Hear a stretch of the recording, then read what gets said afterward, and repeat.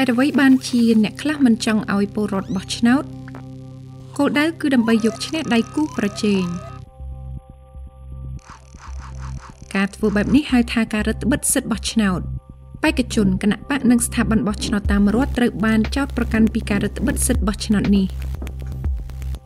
រដ្ឋជាច្រើនតម្រូវឲ្យអ្នកបោះឆ្នោតបង្ហាញអត្តសញ្ញាណប័ណ្ណដើម្បីអាចបោះឆ្នោតបាន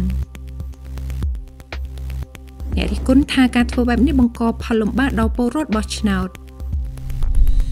ស្ថាប័ន PolitiFact រកឃើញថាពលរដ្ឋជាច្រើនជឿថាការលួចបន្លំសន្លឹកឆ្នោតស្ទើរតែមិនអាចកើតមាននោះទេ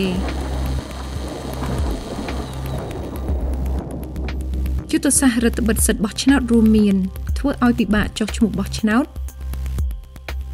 បិទមណ្ឌលបោះឆ្នោតតាមសហគមន៍ កំណត់រយៈពេលខ្លីសម្រាប់ការបោះឆ្នោតមុនថ្ងៃបោះឆ្នោតធ្វើឲ្យពិបាកទទួលបានសញ្ញាឆ្នោតដើម្បីផ្ញើតាមប្រៃសណីលុបចោលឈ្មោះអ្នកដែលមានសិទ្ធិបោះឆ្នោត